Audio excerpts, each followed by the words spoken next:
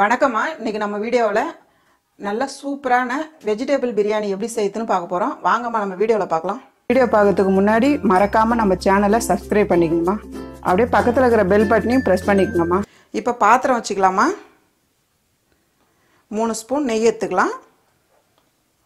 நாலு spoon oil சேர்த்துக்கலாமா நான் வந்து கொஞ்சம் அதிகமாக செய்கிறேன் அதனால் வந்து நான் அதிகமாக சேர்க்குறேன். உங்களுக்கு எவ்வளோ தேவையோ அதுக்கேற்ற மாதிரி சேர்த்துக்குங்க. எண்ணெய் சூடானதும் மூணு பிரியாணி இலை ஒரு நாலஞ்சு லவங்கம் ரெண்டு ஏலக்காய் ஒரு ஸ்டார் பூ ரெண்டு பட்டை. இப்போ நாலு பெரிய வெங்காயம் நீட்டு வகையில் கட் பண்ணியிருக்கேன்.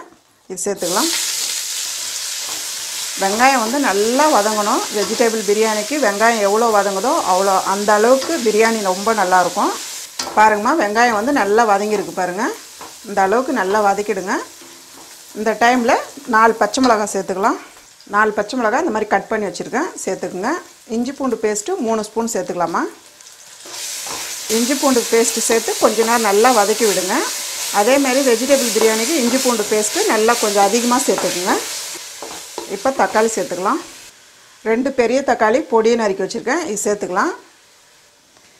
வெங்காயம் வந்து அதிகமாக சேர்த்துக்கலாமா? தக்காளி வந்து ரொம்ப கம்மியாக தான் சேர்க்கணும். பிரியாணிக்கெலாம். நல்லா வதக்கி விடுங்க. தக்காளி இருக்கிறதே தெரியக்கூடாது. அந்த அளவுக்கு நல்லா வதக்கி விட்டுருங்க. பாருங்கள் தக்காளி நல்லா வதங்கிடுச்சு. இந்த டைமில் நம்ம வெஜிடபிள்லாம் சேர்த்துக்கலாம். நூறு கிராம் பீன்ஸு பொடியை நறுக்கி வச்சுருக்கேன். சேர்த்துக்கலாம். நூறு கிராம் கேரட்டு பொடியை நறுக்கி வச்சுருக்கேன். இதையும் சேர்த்துக்கலாம். ஒரு பெரிய சைஸ் உருளைக்கிழங்கு நல்லா தோல் சீவிட்டு இந்த மாதிரி கட் பண்ணி வச்சுக்கோங்க.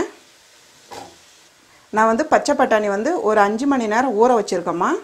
ஊற வச்சு வேக வச்சு வச்சுருக்கேன். பாருங்கள் பாதி வேக்காடு வேக வச்சு வச்சுருக்கேன். மிச்சம் வந்து இதில் வெந்துருமா நமக்கு?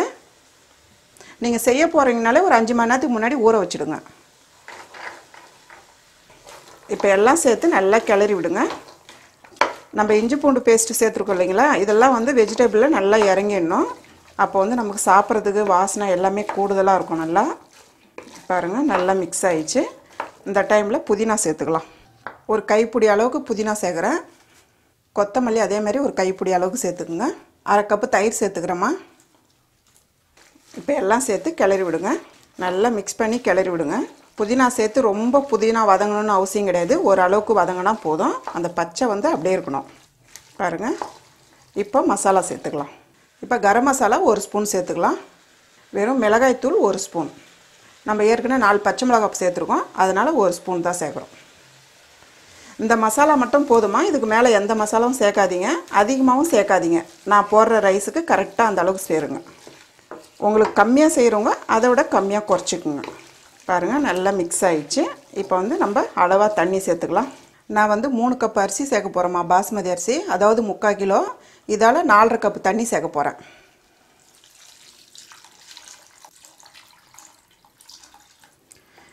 அதாவதுமா ஒரு கப்பு அரிசி சேர்க்குறேன்னா அதுக்கு வந்து ஒன்றரை கப் தண்ணி சேர்க்கணும் நம்ம. அதான் உங்களுக்கு கணக்கு. இப்போ நல்லா மிக்ஸ் பண்ணி விடுங்க. உப்பு சேர்த்துக்கலாம். உப்பு தேவையான அளவு சேர்த்துங்கம்மா. பார்த்து சேர்த்துக்குங்க. உப்பு காரம் பார்த்துட்டு ஒரு பத்து நிமிஷம் மூடி வச்சா நமக்கு வந்து தண்ணி நல்லா கொதிச்சிடும். அதே மாதிரி வெஜிடபிள்லாம் நல்லா வெந்துடும் நம்ம அதுக்கப்புறம் அரிசி சேர்த்துக்கலாம். நான் வந்து முக்கால் கிலோ பாஸ்மதி அரிசி எடுத்துருக்கோம்மா அதாவது மூணு கப் அரிசி. நல்லா அரிசி ரெண்டு தண்ணி கழுவிடுங்க. அதுக்கப்புறம் நல்ல தண்ணி ஊற்றி பத்து நிமிஷம் ஊற வைக்கலாம். பாருங்கம்மா பத்து நிமிஷம் ஆயிடுச்சு பார்க்கலாம். பாருங்கள் தண்ணி நல்லா கொதிச்சிடுச்சு நமக்கு வந்து போட்ட காய்ங்கெல்லாம் நல்லா வெந்துட்ருக்கோம் இப்போ வந்து அரிசி சேர்த்துக்கலாம். தண்ணி வந்து இந்த மாதிரி நல்லா கொதிக்க விடுங்கம்மா. அந்த டைமில் அரிசி சேர்த்தா நமக்கு வந்து ரைஸ் வந்து உடையாமல் நல்லா உதிரியாக இருக்கும் பார்க்குறதுக்கு சாதமே. இப்போ முக்கால் கிலோ அரிசிமா அதாவது மூணு கப்பு. பத்து நிமிஷம் ஊறிடுச்சு இப்போ சேர்த்துக்கலாம். அரிசி சேர்த்து நல்லா கிளறி விடுங்க.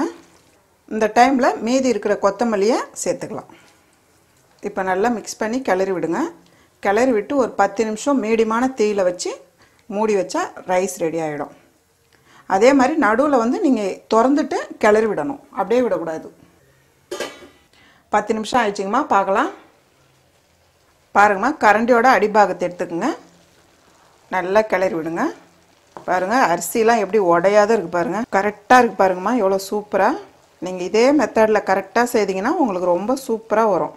அவ்வளோதாம்மா ரொம்ப ஈஸியான சூப்பரான வெஜிடபிள் பிரியாணி ரெடி அம்மாவோட வீடியோஸை சுட சுட தெரிஞ்சுக்க மறக்காமல் நம்ம சேனலை சப்ஸ்கிரைப் பண்ணிக்கோமா